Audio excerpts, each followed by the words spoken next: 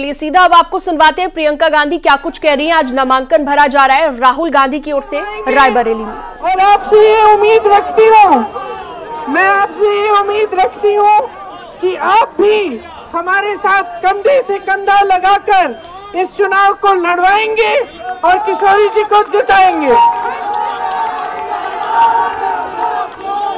हम हम अमेठी में हम अमेठी में एक बार फिर सच्चाई की राजनीति, सच्चाई की राजनीति और सेवा की राजनीति वापस लाना चाहते हैं मैं आज तीन तारीख है, तीन तारीख है, छह तारीख को मैं वापस रायबरेली आऊँगी? छह तारीख को मैं वापस रायबरेली आऊँगी और तब से चुनाव के अंत तक आपके साथ और राहुल जी के लिए ये चुनाव लड़ेंगे ये लोग चुनाव को धन बल पे लड़ते हैं। हम जनता के बल पर लड़ेंगे। हम ये चुनाव आपके लिए लड़ेंगे ताकि आपका विकास हो, ताकि आप आगे बुकी जी कैसे बहुत इतने पहचान कैसे है भैया? बहुत अच्छे पहचाने हुए चेहरे, पुराने चेहरे भी हैं, नए भी हैं, नवयुवक भी हैं, बहुत कैसे हो। सही? ठीक है तो अब अब ये मौका आ गया है कि हम सब इस पूरे देश में एक संदेश दें कि हम सेवा की राजनीति वापस चाहते हैं। हम एक ऐसी राजनीति वापस यहाँ से शुरू करेंगे, जो सच्चाई की हो, जो आपके लिए हो, जो आपको आगे बढ़ाए। ये आपका चुनाव है। आप लड़ेंगे, आप जिताएँगे। जय हिंद!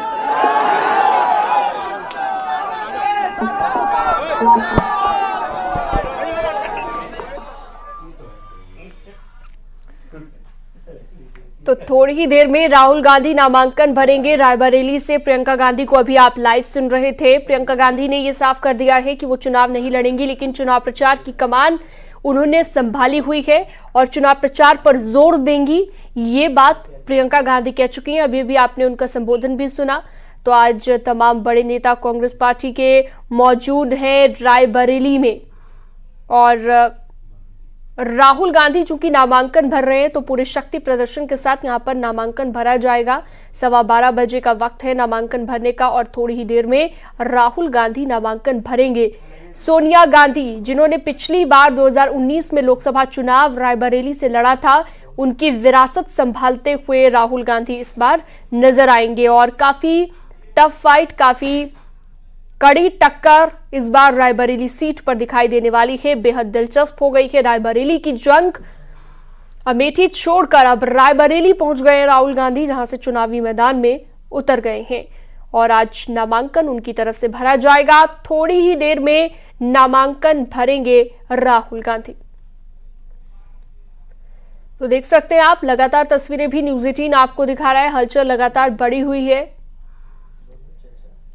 और न्यूज़ 18 की खबर पर मुहर भी लगी है। जैसा कि हमने आपको पहले ही बताया था कि रायबरेली से चुनाव लड़ेंगे राहुल गांधी और अमेठी से नया कैंडिडेट कोई अनाउंस किया जाएगा और ऐसा ही हुआ, के शर्मा को अमेठी से कांग्रेस पार्टी ने चुनावी मैदान में उतारा है। तो राहुल गांधी के सामने होंगे दिनेश प्रताप सिंह, बीजेपी के कैंडिडेट।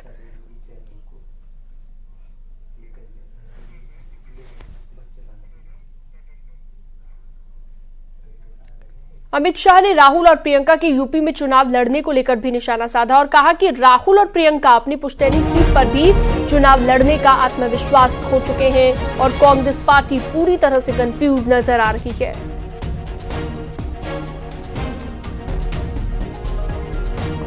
प्रियंका गांधी जी का कभी हाँ कभी ना कभी लड़ रहे हैं कभी नहीं लड़ रहे हैं। अभी कुछ सुनने में आ रहा है कि शायद अब नहीं लड़ रहे हैं इसको कैसे देखते हैं आप? देखिए ये लोग आत्मविश्वास गवा बैठे हैं।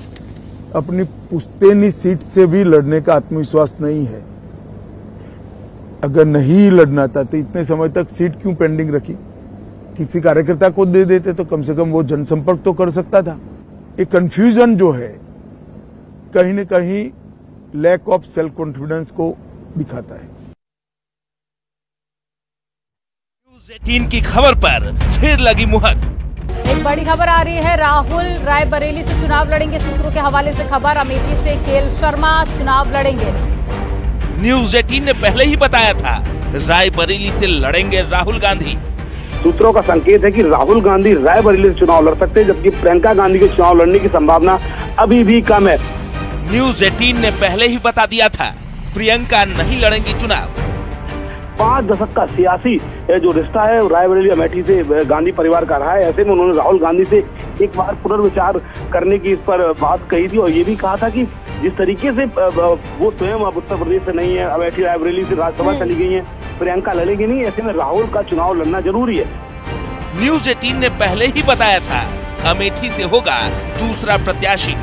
अमेठी से केल शर्मा चुनाव लड़ेंगे। चुनाव पर सबसे सटीक खबर सच की मुहर।